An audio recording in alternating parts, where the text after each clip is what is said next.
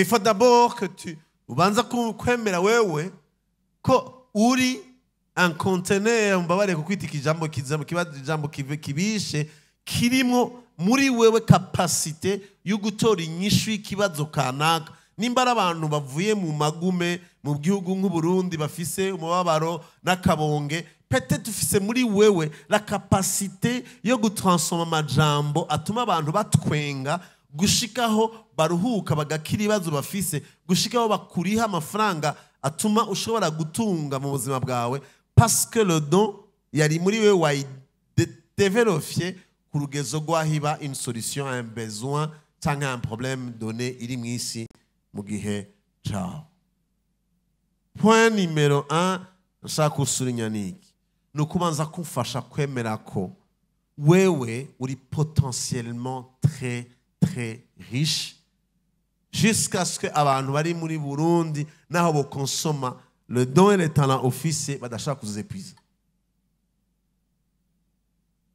c'est le départ de tout. Ntumbwire amafaranga ufise mu mufuko ingorane ufise ivyo abavyeyi bakubwira ngo hengene gisa ngo hico naco. Ingene yaza- yaguhaye amanota kwishuri akubwira ngo uri kijuju abantu baba ngo uri kijuju abwira ati non ndi potentiellement très intelligent seulement je n'ai pas encore développé mon intelligence. C'est tout. Alors, avant que tu cherches à découvrir les dons et les talents banza d'abord reconnaisse le potentiel. Uyibona gute Nigi- igi- nigi yari imbere yuko ubibona muri wewe ubibona gute utangura kubona abantu bameze nka wewe bariko barakora ibintu biri extraordinaire bariko baragera ku rugezo aho bashobora gukoresha umubiri wabo ibintu udashobora kwibaza ko umubiri washobora gukora. Ukabona umuntu ariko aragira araduze ara- arasimbye ahantu adashaka kwibaza ko abantu bose bashobora gusimba. Juste parce qu'il a exercé ou il a exercé le potentiel muri we atanga kuiderewe pas gushika ku rugezo rwaho aba umuntu extraordinaire. Ni comment est-ce que tu utilises la capacité de penser ku buryo ugera ku rugezo aho utangura ku découvrir dans le monde invisible des solutions. Zari déjà là potentiellement. Mugabo wagize accès parce que tu as surpassé la capacité humaine de penser ukaja sur une dimension surnaturelle. Tu es potentiellement riche. Riche ce n'est pas de l'argent. Riche ni matière ni potentiel ni capable gukora mugabo que le monde ne connaît pas encore. Parce que tu n'as pas encore eu l'opportunité yo gushobora kubidéveloppa alors umenye le créateur et la pensée du créateur. Rero kuri potentiel. Ubanze ufate umwanya umwanya mu buzima bwawe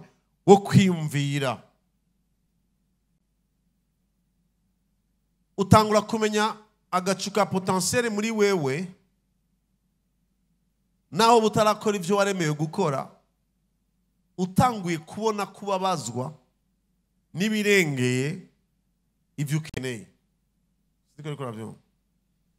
ça te fait mal de un problème iri kwiraba muri muri Sri Lanka. Uragomba tu as tellement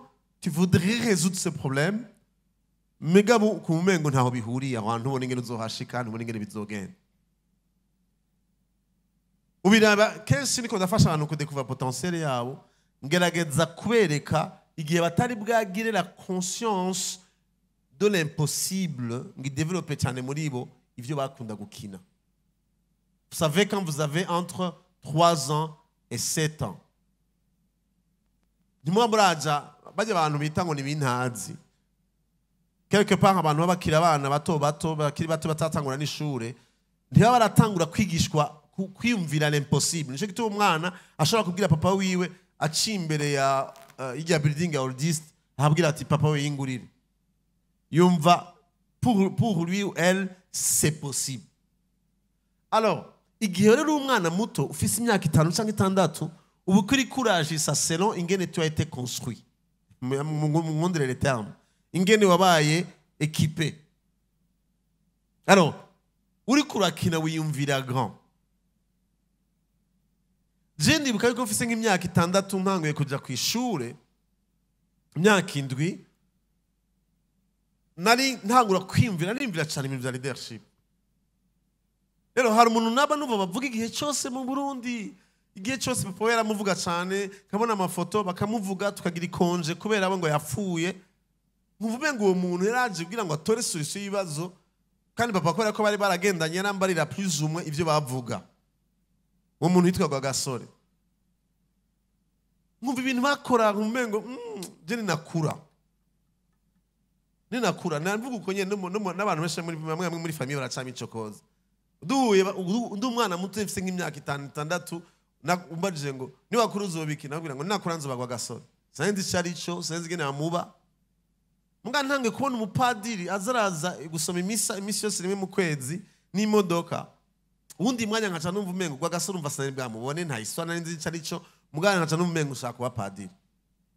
Uburyo umunsi umwe ndiko ndagenda ku ishure niga ahantu kure twa duciye ahantu twaca ahantu hari vale niniya cyane n'amaguru mu gitondo hanyuma ugasanga hari igipfungu brouillard ukabona harera cyane. Ugaca umengo ni ibicu ugaca umengo uri hejuru y'ibicu. Duhagaze ahantu ahantu uri hejuru umengo ni hejuru y'ibicu. Ugaca numva kumenga imana iri hafi rero. Ngaca nakwibwira ngo mana ninakura ndagusavye. Uzome kuba gwa gasore kandi uzome kuba padiri. Sinari icyo ngomba kuvuga. Alors qu'est-ce qui se passe? Ibyago gasore sinzi ingene babikina. Ari 13 octobre gusa narambara idarapo ngaha muhira natoye baduza ngo bya ipone à l'époque nkumve ngo ushaka kumenya ivyo bintu vy'uwo muntu kubera ko numva bamuvuga cyane mugabo kuva ndi umwana muto nca ubwenge niba wahura n'umuntu tuvukana nzokubwira gushika peut-être ngere nko muri troisième primaire imisi yose dimanche. Nasa ntora ikanzu na- natora ikanzu ya grande sœur nkurikira. Nkacanza saa moya iminsi yose papa yicaye muri salo nkaca imisa kandi sinayigira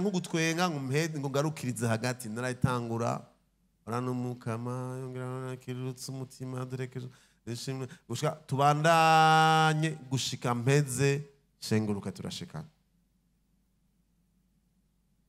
Ça, c'était pas un dimanche sur trois. Non, non. Tous les dimanches soirs.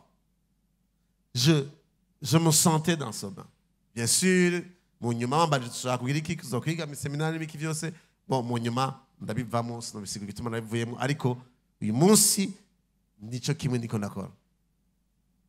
J'étais potentiellement fait pour prendre un microphone kuja imbere y'abantu kuvuga. Kuva ntanguye muri septième kuva ntanguye muri septième muri internat nari délégué de classe. Huitième nari délégué de classe. Neuvième c'était pour la première fois muri iyo shuri kuri internat umudelege wo muri neuvième abada- abadelege général wa cycle inférieur. Bahora muri quatrième iminsi yose ko niho cycle inférieur yahera kirya gihe ngiye mu w'icumi j'étais délégué général wa cycle inférieur haca haba magume caniro turuva ndiko ndajera ishure presque jenyine directeur yahunze directeur yahunze abandi bahunze j'étais là en train de gérer abajene bariko baragwana bicana mpagaze aho 200 km loin de chez moi mais j'étais un leader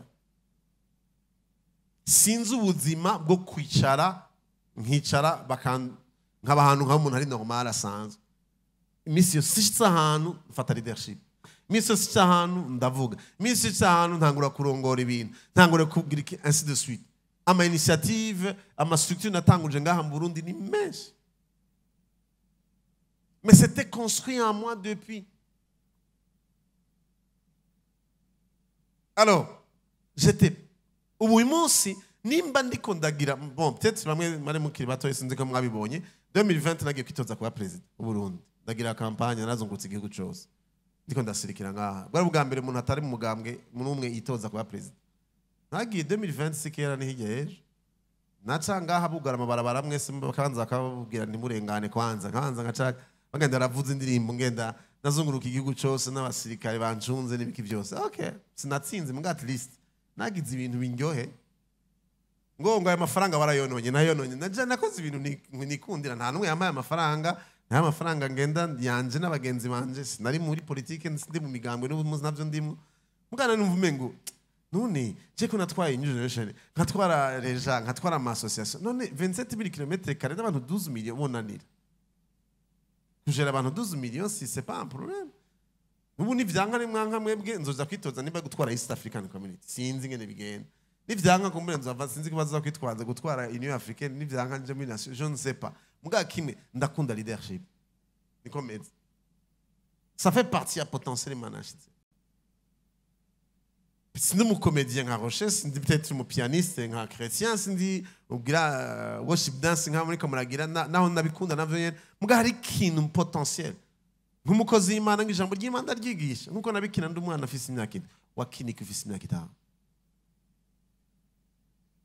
mbariza umuntu mwicaranye uti wowe wakinika ufite imyaka itanu urabyibuka muvugisha umubariza niba mubizi mubwire direkita wakini biki? Ufite cinquante six ans sept ans.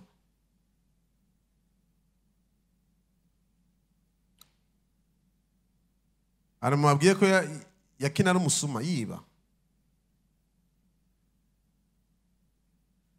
Hari ade moment butaratangura kumva bakubwira ngo ibintu ntibiri impossible byinshi ubwo umufise ushaka gukora ibintu binini. Uribona wakoze ibintu wakinye umupira kuba umuntu mu mbere kiri umupira ku isi. Ukidentifia mu bantu bakomeye. Peut-être je navuga ngo gaso navuga upadiri wowe ufise ibindi bintu wibonamo kumbure wakuze mu gihe c'aba Ronaldo na ba Messi canke wakuze. Pana kora ko ushaka amafaranga mbwa parce ukunda ibintu bijanye na, na don na potentiel imana se muri we alors le potentiel il provoque ikintu cyitwa passion. Uguhahamukira ibintu la passion. Tu es passionné par quelque chose. Je suis passionné.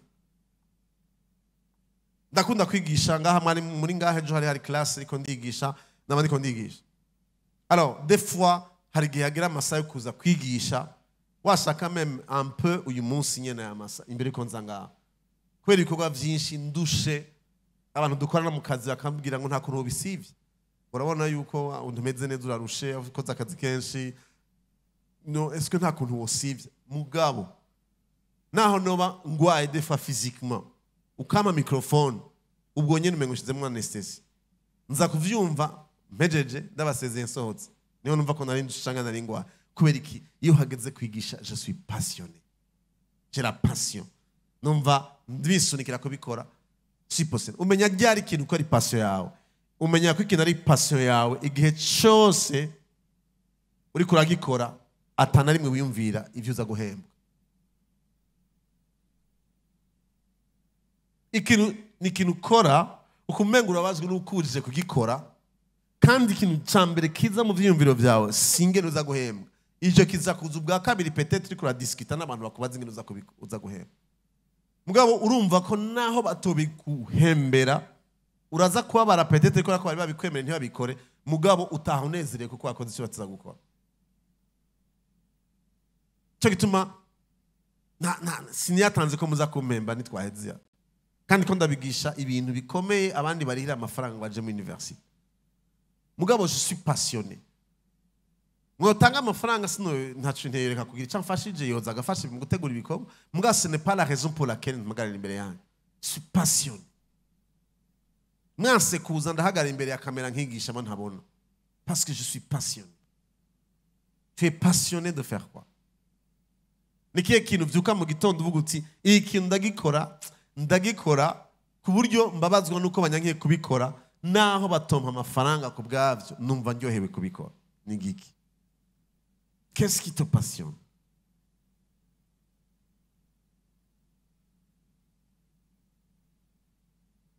Giha passion ubuzima bwawe tu es passionné de quoi? Ni kihe kintu passion sinzi babivuga mu kirundi. Mugabo ni kihe kintu wisanga wisunikiye gukora. Wumva ugikora ku buryo wiyibagira wewe uriyibagira. Kubera iki passion igutuma wiyibagira? Ni ukubera ko passion ikuzana kumva ko muri wewe ufise kapasite yo gukora ibintu birengeye imyaka yawe yo kubaho. Tu n'es pas passionné par ce qui va te, te donner de quoi manger. Non.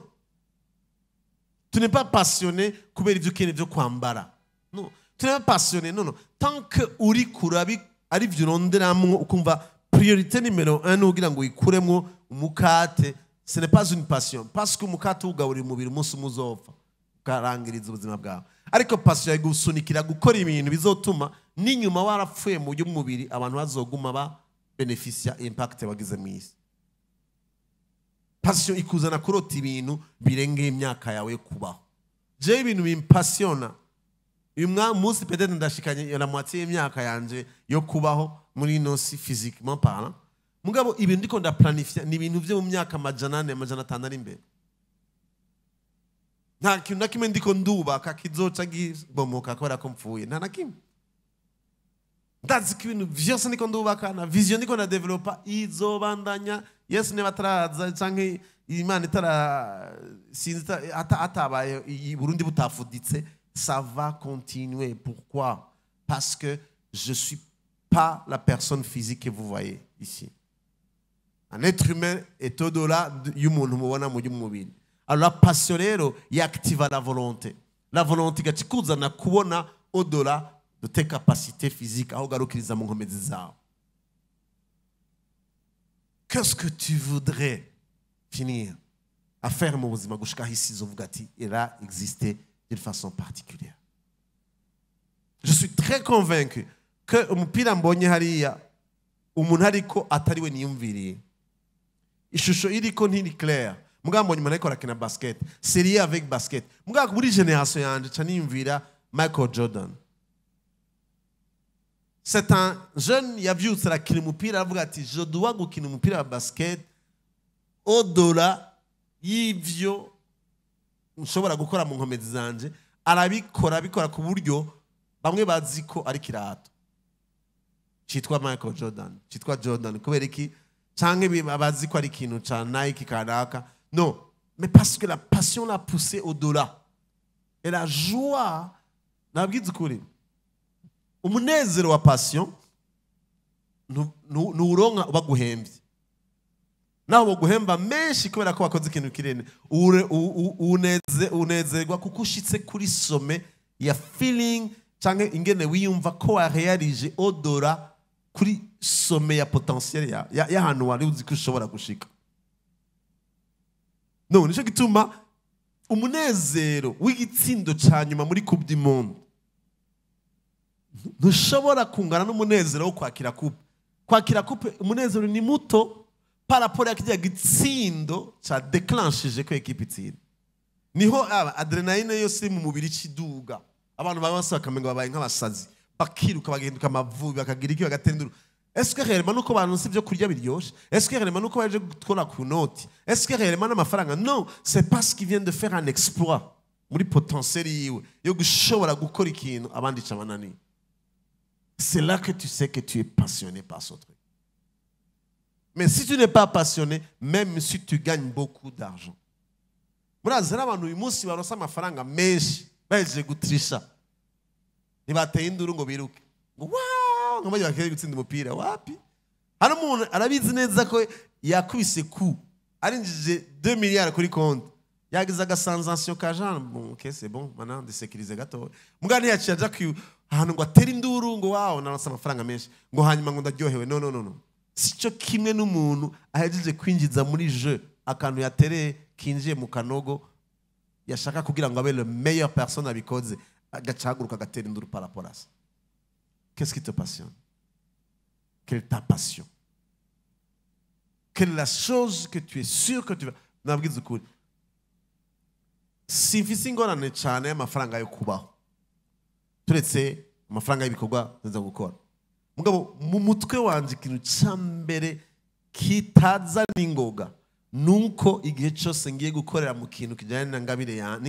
na nza kubikoramo amafaranga. Nta na rimwe biza ubwa mbere. Nimba ari ibintu nkora umwanya munini abantu dukorana barabizi. Ni ukuvuga ni ukwigisha. Dimanche narigishije ejo narigishije ubu ndiko ndigisha ejo nzoba ndiko ndigisha hari ahantu nzoba ndiko ndigisha hatandukanye ku isi nta na hamwe na spekiye ngo babanze bambwire bazompa ngaha. Ça peut venir ou ne pas venir? Mais tant que je sais que ils vont venir ils vont me demander mais ce n'est pas du tout la priorité. Ce n'est pas ce que je cherche. Ce que je cherche c'est de vider le potentiel mfise ni gute ibiri muri jewe bisohoka mu ndimi zitandukanye bishikira abantu benshi ndabitange ndabitange ndabitange au maximum. Kandi quand les gens vont recevoir bakaba touché.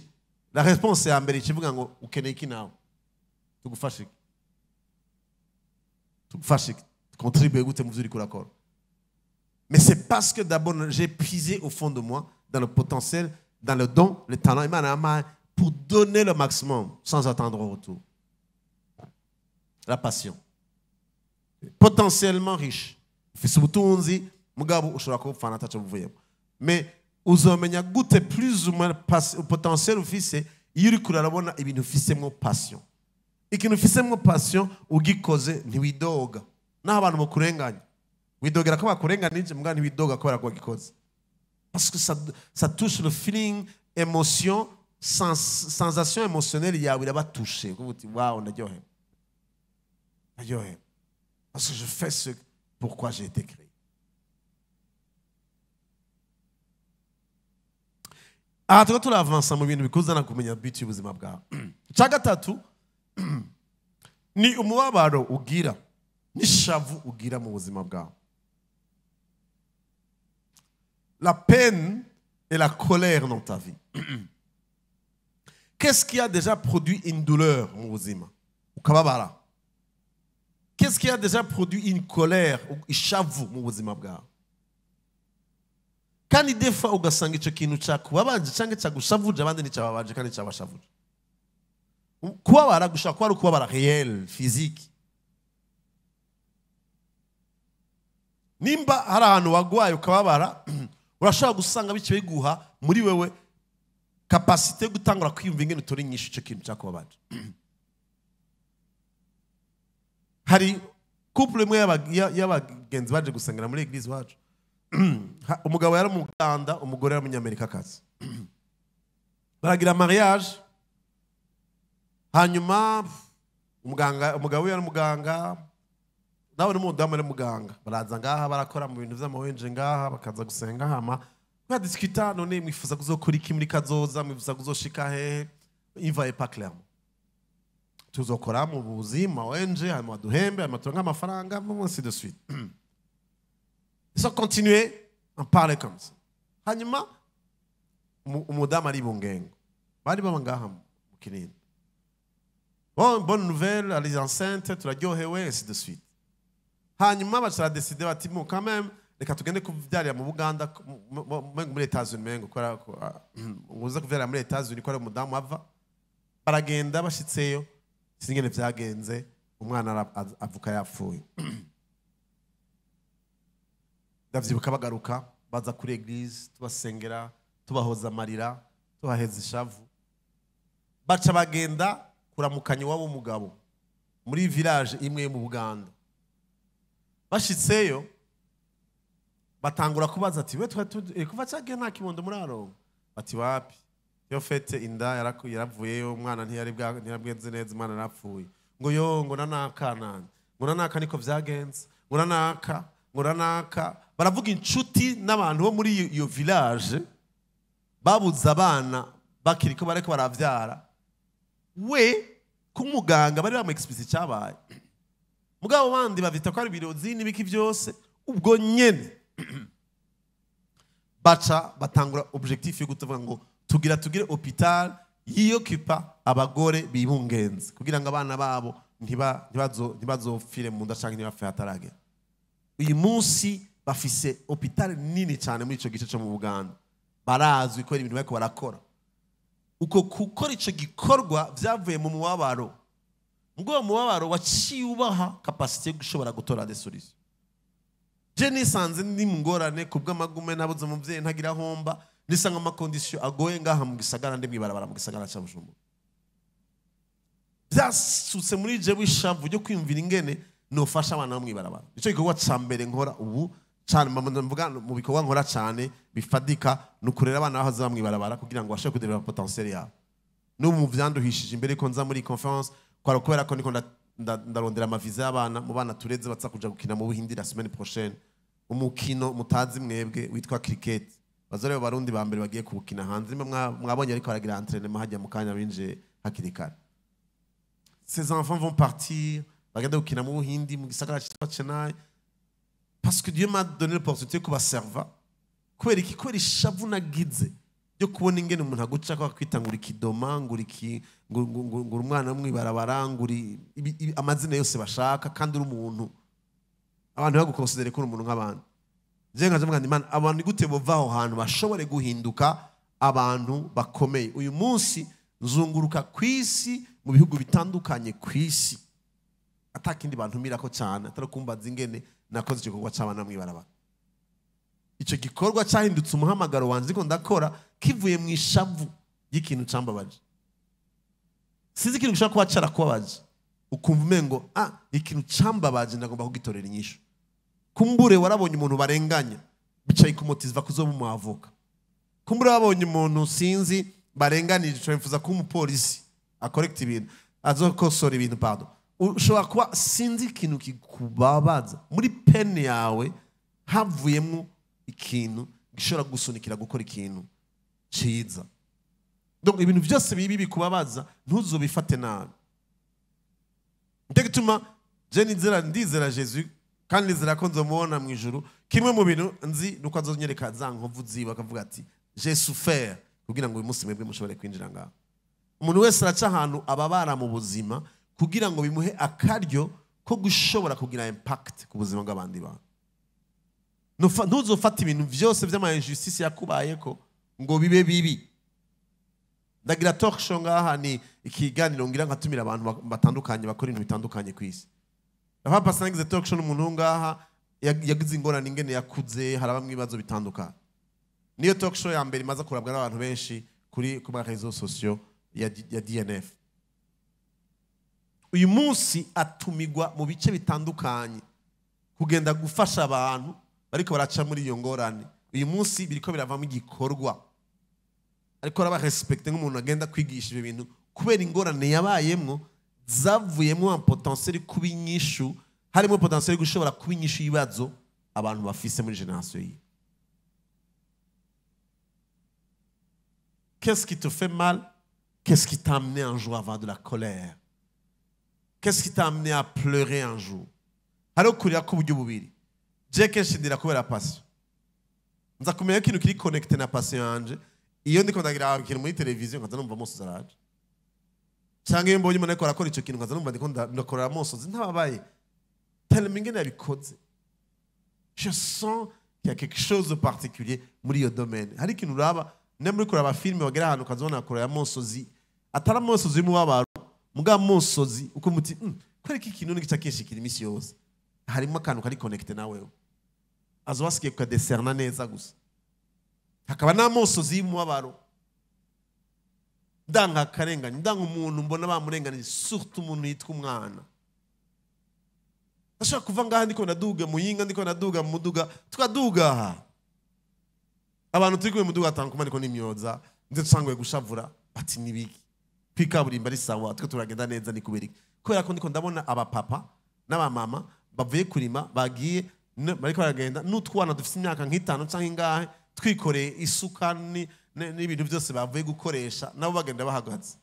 N'ahari abana babo numengo nuhagarara n'imodoka nkavuga nti abana ndababatse ndabatwara.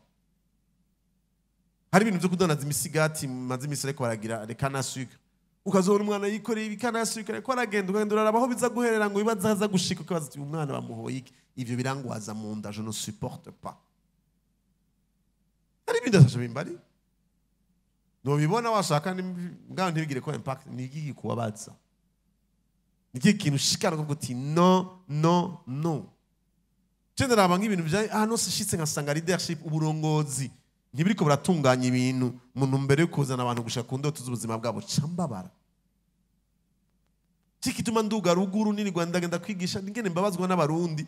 Ba- bari aho? Babwiye ngo ni kijuju uvuga atagiye mu ishure.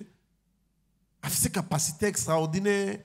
Aya masaha aryamye kugira ngo ari mu makondisiyo atazo kugira abaho ubuzima bwiza que uburongozi na leadership butigera bumutiva gushobora kumaximiza potentiel yiwe. ngo ashobore gushyira ahantu akora ibintu by'igitangaza ibyo biratuma ntarasinzira wewe n'ibiki biriya udatuma udasinziriye. Pana kurara udasinziriye kubera kuri kurara instagram y'abandi n'amanudze n'amasitatu y'abandi bantu. Kese kite umutivu guti kirambabaje cyo ikintu gihinduka kamera neza.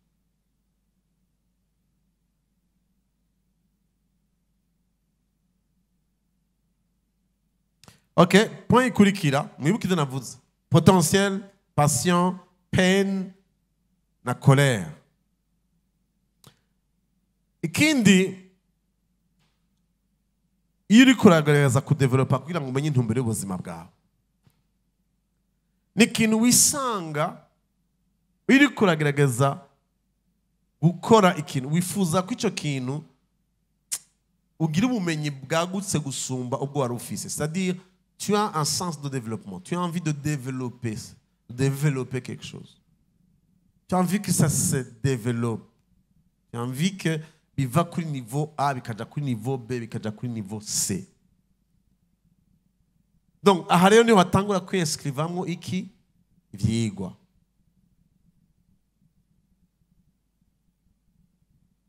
alors iyo uri kuriga ibintu ukumva ntibigupermeta kudevelopa passion na potentiel yawe warumva ko irimo ya madona matala bica kuruha.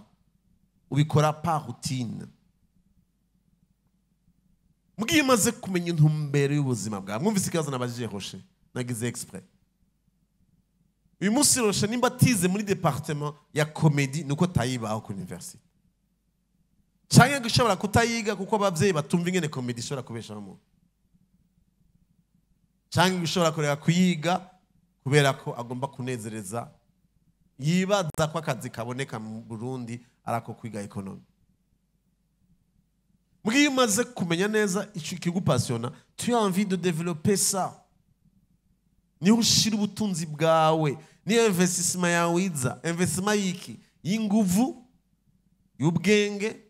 Tu investis dedans parce que tu veux le résultat à la fin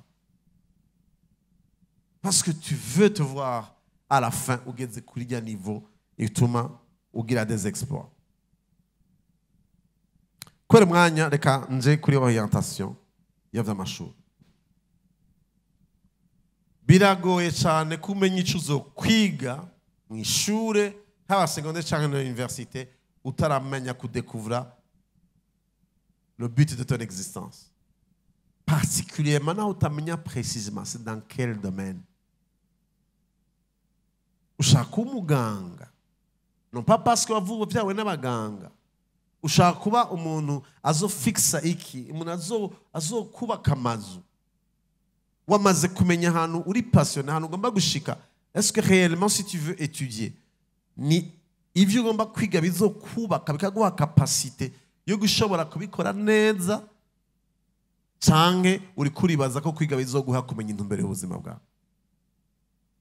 Kubera ikibiga muri faculté kanaka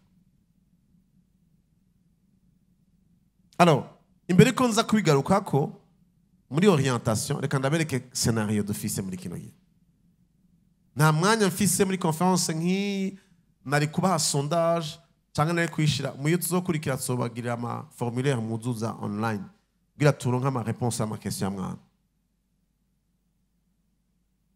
reka turabe ko hari abantu bari brave ngaha b'abahizi bashobora kumbwiza ukuri bakambwiza ukuri ni bande bibaza ko bazokwiga mu bintu abavyeyi babo bashaka ko biga? Mubwiye gutyo naho atari ko bimeze mubwo vuga uti niko nibaza abavyeyi banje uko ndabazi bazombwira ivyo niga tu kandi nzovyiga kubera ko ari ivyo bambariye. Abaye courage kubivuga. Okay sawa. Ni bande bibaza ko bazokwiga mu kintu kuko arico gitanga akazi n'ingoga muri mu Burundi. Bazokwiga ikintu uko muri université kuko arico gituma abantu baronka akazi n'ingoga.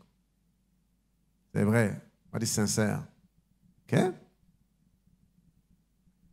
ni bande bazi ko bazokwiga ku kintu kuko basure ko ariyo passion cyangwa ko ariyo ko arico baremewe gukora.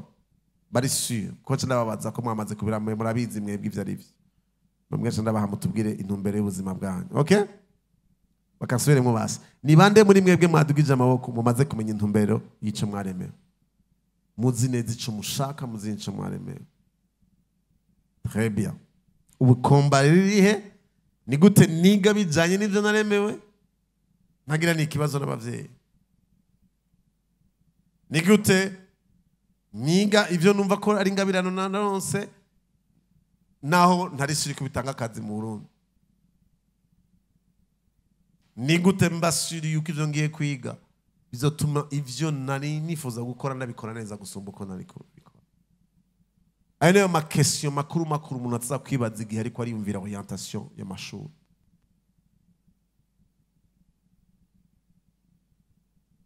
dusubire hamwe twatangurira. Uri umuntu w'igitangaza. Isi yose irakurindiriye. Tu as une richesse kubera ko uwakuremye yari yakwiyumviriye arashyira muri wewe ibisabwa kugira ngo umuntu exceptionnel muri nose.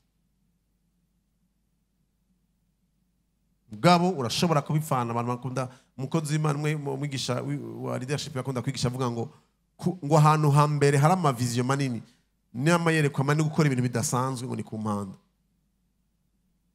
Atigeze akorwa n'umunsi ibitabo bitigeze vyandikwa biri ku mpanda. Amafilime atigeze akinwa ari ku mana intebe zitigeze zi- zi- ziba fabrike concept zazo ziri ku manda kubera ko abantu bapfuye batigeze bakora ikintu na kimwe bijyanye n'icyo baremewe alors avant yo kuavansa cyane muri showa y'ivyo uzo kwiga mu ishuri banza ugire ingufu cyane na exercice nyinshi yo kumenya. Ingabire n'ingabire n'imana muri wewe n'ingene uzikoresha cyane cyane mu kumenya potentiel ufise i- ikwereka yuko ari potentiel ufise na bya bindi wama wisanga uriko uragerageza gukora naho ata amafaranga uza kubironkamo naho directeur matacho bizakuzana nk'inyungu ifatika. Impanuro rero ziri pratique ngomba kubaha nizikurikira gerageza ubwa mbere ufatikaye. Cyangwa karne cyangwa laptop nimba uyifite cyangwa ipad. Ugerageze kwandika. Amajambo yose akuzana gusigura icyo wifuza kuzo kuzorangiza ubuzima uri kurakora mu buzima bwawe. Icyo wifuza kuzoba warashyitseko gerageza ubyandike. Igituma mvuze ika- uzokwandika bibe byinshi jigenda bitangura navyanditse biba byinshi urabivangatiranya. Kwandika ibintu. Hanyuma ugenda uravyerimina gushikaho ukuramo une phrase. Iri furu na nyene itari clair cyane mugabo uvuga uti ndagomba uwo mbaza nzopfa kuvuga ibasi iyi phrase hanyuma nzogana ndayikosora mugabo ni exercice iri pratique. Si ibintu byo kwiyumvira mu mutwe. Ugende ufatikaye uvuga uti jewe nahimana diodone nibaza ko naremewe kugira iki n'iki n'iki n'iki no kugira iki n'iki n'iki kandi numva umengo ndiyumvamo gukora iki n'iki n'iki bizohava bica bituma mba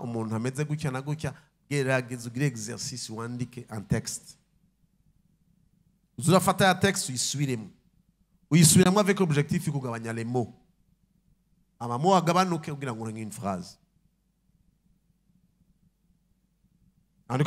Tu vas arriver sur un but qui va après déterminer la vision. La vision umunsi no ivugako mugabo la vision iza kuguha leta finale y'ivyo uzoba bifatanye n'ivyo wakora exercice ndamagerageza guha abantu bamwe bamwe iyo byakugoye nibyakugora ugire exercice itaryoshe. Uce wibona ufise imyaka mirongo icenda n'itanu basi. Wapfuye uri umutama amutamakazi uce wishira mu kibanza cy'umuntu azosoma azovuga disikuru yo kuvuga ico wamaze. N'ibiki wifuza ko azovuga. Kuri anterema yawe niba ufite imyaka ijana basi wifuza ko bazovuga ko wamaze mu isi? Ibintu byose biryoshe. Gutsi nimba ushaka ati narareze imfu- narareze imfuvyi naratanguje ishure narubatse ishure rya komedi ryabaye irya mbere ku isi nazanye abakomedi bahambaye muri afurika batari bwigere bahahonyora. Nif- nifuza ko nzoba ndi umuntu azoba yaragize vyose muri brainstorming usuke ku rupapuro. Chaque fois uza uragabanya ni igihe kimwe gifatanye n'ikindi. Iyo ni exercice ya mbere. Iyo si nzoyigukorera nta muvyeyi azoyigukorera nta wundi muntu umwe azoyigukorera. Utuza kugerageza kugira effort yo kuyikora. Uhereye kuri bya bindi wiraba ingene wakidura umwana mutoyi ugeze kuraba bya bintu bigu- bigupasiona ugerageza gukora mu buzima bwawe. Nturabe necessairement amanota ufise warose muri secondaire cyangwa muri primaire. Raba muri mu byo bikuzamwo kuzamo uti ndifuza kubona n'umuntu yakoze kamera uh, izoshobora gufonctionner idafise pile je ne sais pas. Mais essaie de penser à quelque chose d'extraordinaire. N'hésite pas ko biba ibintu umengo ni ivy'ubusazi nkacu ekhile hamugerageza ubigabanure buhoro buhoro gushikaho uzonka infazi icya kabiri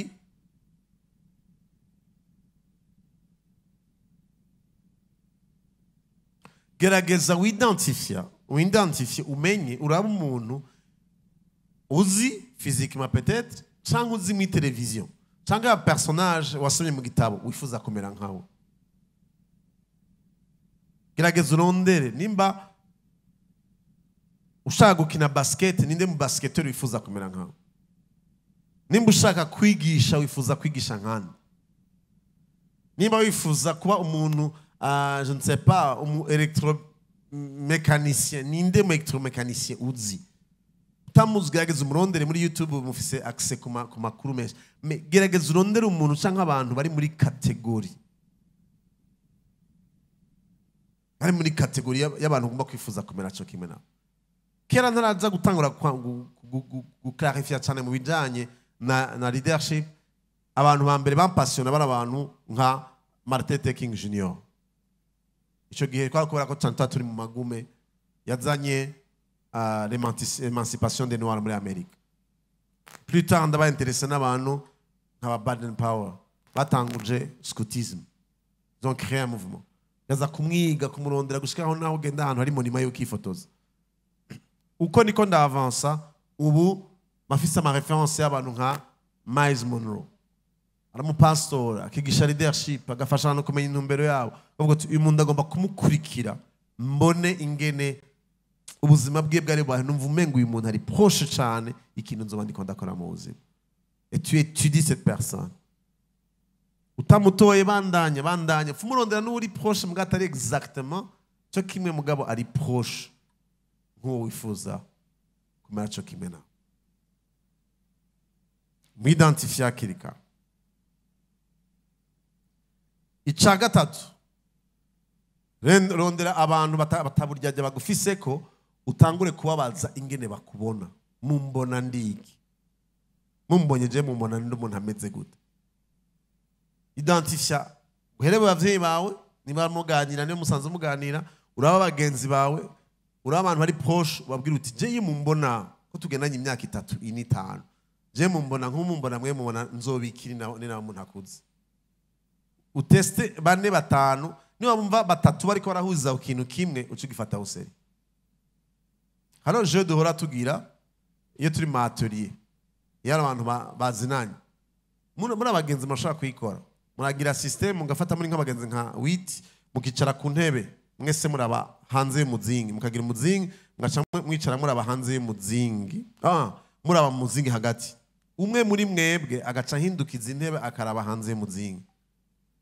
Mugaca bumuvugira muti ni mumuvuge cyangwa ukavuga ati ni mumvuge uko mushobora kumvuga atariho ndi. Kandi ariko mundabara amaso munkritike muvuga ibintu byiza mu nziko n'ibintu bibi mu nziko. Uba uri kuraba hanze bari inyuma yabo ugatanga uravuga ngo urumva ngo ashavura n'ingoga iyo tugiye gusangira arikunda ajya byose wenyine cyangwa iki numa iyo bafashe umwanya bakavuga barakuvuga nawe ukaza uritangura kwibona muri filime ingene umeze.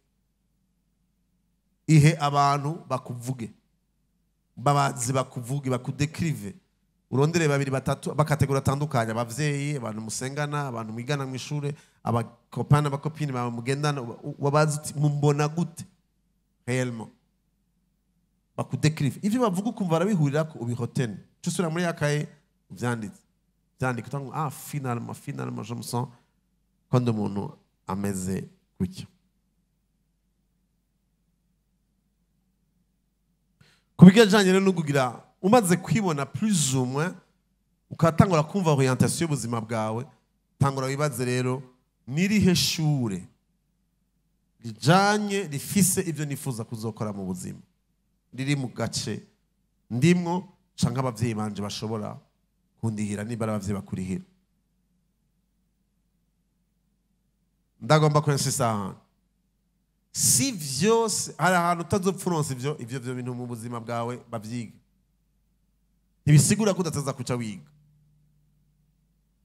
Urashobora gusanga muri uwo mwanya bidashoboka n'ababikurira badabishoboye. Mugabo probablement ko umunsi umwe uzogera ahantu wowe nyine ukirihira kubi- ukabiri nico gituma ifo pa kureka kuza kwiga ngo ni ukubera ko ishuri rijanye n'ivyo- n'ivyo ushaka kwiga ataryo- atarihari urashobora kuronka ikintu kiri proche toute les façons hoshe atize komedi arashobora kwiga management.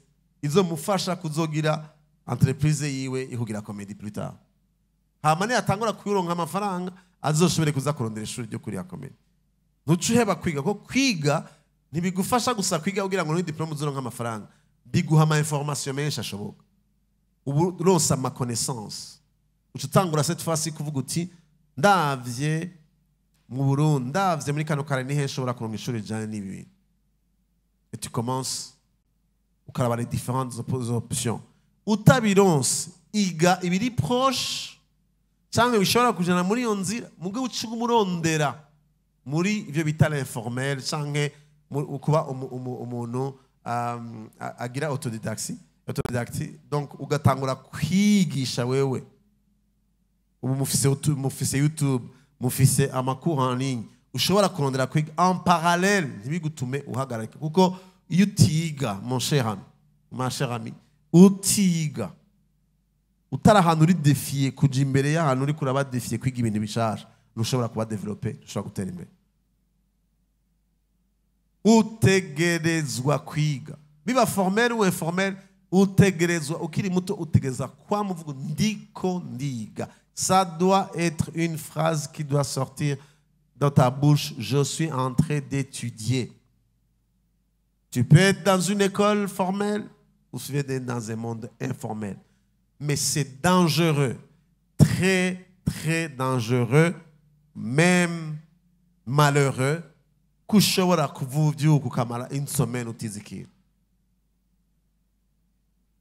Tu dois étudier.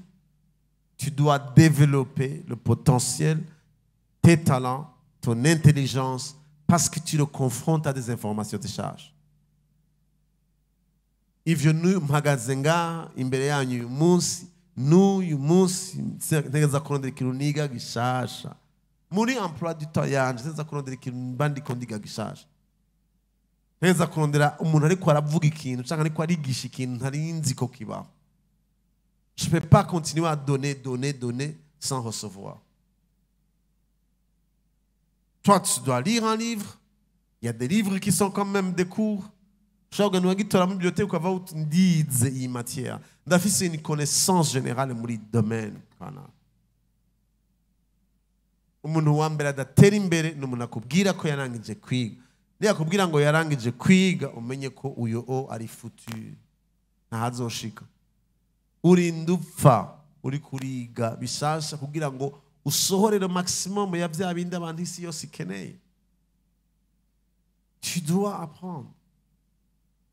Rero uraja mu ishuri formel wamaze kudekuvura ya matana n'amadon yawe sinagiye mu madetaye menshi. Mugabo kandi urashaka kutaronka ibijyanye n'ibyo wize n'ibyo ushaka kuzokora ugatangura kwiga ibigeri poshe amemita wironderera. Wironderera ingene udevelopa ivyo bintu muri informel ushobora kuronka amasantere nk'aya kuko iwacu kiga ikintu bariko barigisha ico kintu parce que peut-être atashure waronse mugabo bariko baragufasha kudevelopa ivyo. Evite kuba umuntu ari passif evite kuba umuntu ari aho arindiriye. Va umuntu découvre davantage. Je viens d'apprendre.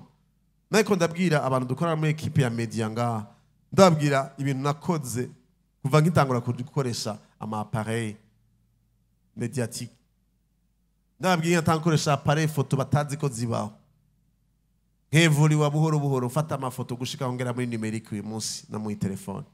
Ingene nagiye ndevuriwa mu kudevelopa amafoto duhera ku bintu twakiriya vy'amashambre um, ari sombre ugashiramo ama- ukazana ukaza ukadevelopa amafoto gushika uyu munsi mugezaho muyarungika kuri, kuri, kuri telefone.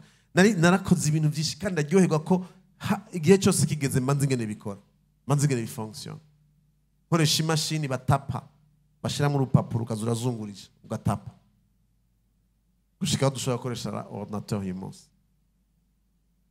Nta mashuri menshi formel nize kubera nta kapasite nta muvyeyi nawe mfise ariko arandihira ngo nige amashuri meza. Nta nta ntavyo nashoboye mugabo tonke na ronse uyu munsi hariho ikintu cyitwa yutube google. Nshobora kugenda nkarondera ama ibintu bishobora kumfasha gutera imbere. Sinshobora kudepansa umwanya wanje ndiko ndakonsoma iby'abandi gusa. Nanjye ndiko ndadevelopa ibiri muri jewe la capacité de faire des choses. Iri ikuzana gukora ikintu gishasha kirengeye ico wari usanzwe uzi numva noba ndagarukije ngaho nagushobora kubabwira ibibazo mwibaza byinshi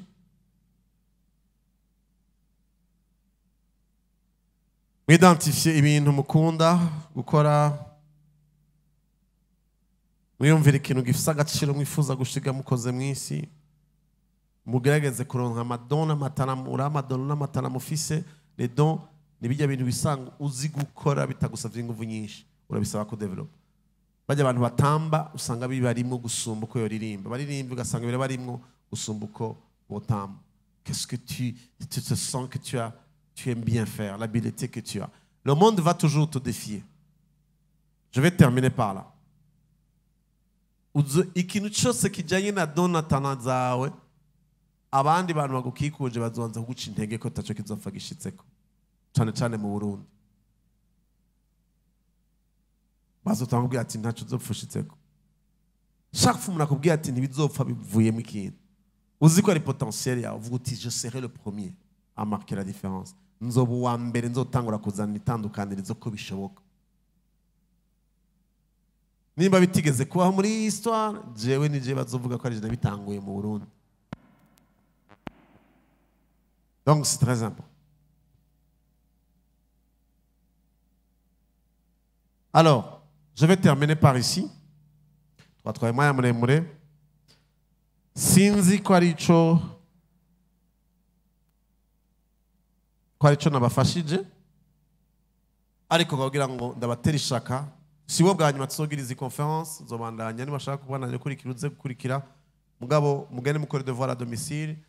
ufate iryakaye ugerageze kwandika icyo wifuza kuzorangiza ubuzima bwawe ukora hanyuma urondere abantu wi- wibonamwo bashaka kumera nk'uko umeze hanyuma ugerageze kuraba ishure cyangwa amaforomasiyo yakuronka bijyanye n'ibyo uri kuriga mpamvu icyo ushaka uzokora mu buzima. Ku bijyanye n'ababyeyi ne force pas. Umubyeyi utarapavena kumukonvenka l'obéissance niyo iri mu mugisha.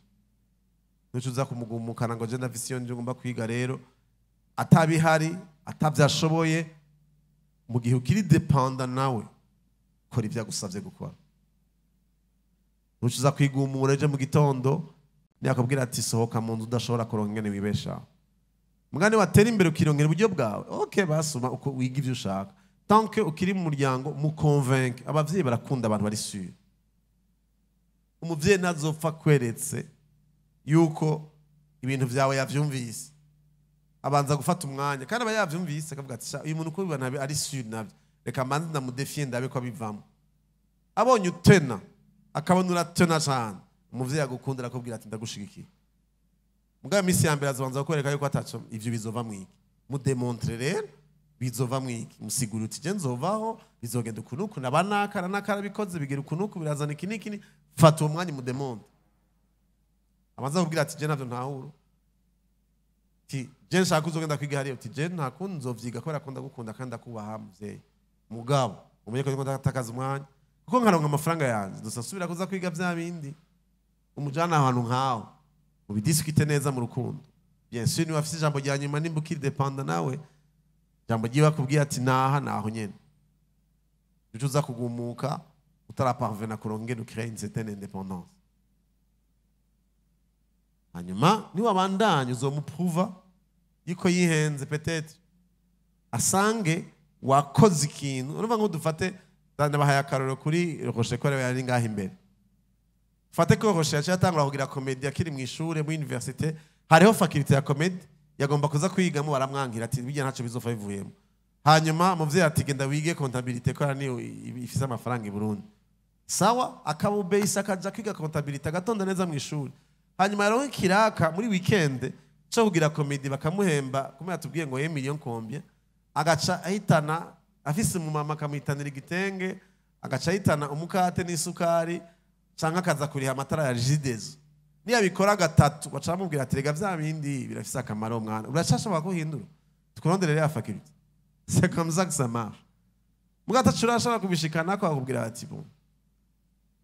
Cyo gituma ajya kugira ngo abavyeyi banezerwe ufise tana ikaguha umugisha w'ikintu gifadika. Umuntu wa mbere wo kugira surprise umuvyeyi wawe. Niwagenda ugakora ikintu ukabona havuyemo amafaranga atazi ukavuga uti je vyavuye mu kuririmba kwanje mushire. Warakoze warakoze muvyeyi ingabire nayirose kubera wewe. Quand tu fais ça uba uriko uramuzana kumenya ati ah kumbe vya bintu birafise agaciro kandi akazagushigikira. Bon ntiduhejeje vyose ariko nibaza ko nabahaye intango ibatera ishavu ryo kugira ico mwiyumviye mugiye gukora. Le reste tuzoba turabana dufashanya buhoro buhoro nimwashika ku ndoto z'ubuzima bwanyu muzokwibuke. Yuko tuzinanye basi. Tuzamuvuga mu tujya mu turazinanye yari yatubwiye ikintu catugumuye umunsi umwe turashika ku ndoto y'ubuzima bwacu. Mwakoze kunyumviriza imana ibahezagire